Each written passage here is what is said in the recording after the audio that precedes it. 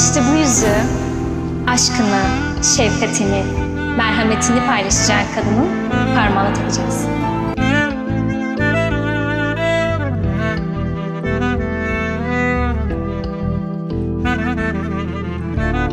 Bu yüzük bana annemden yadigar.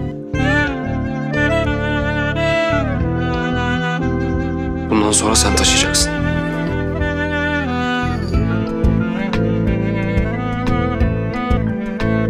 Çok yakıştı.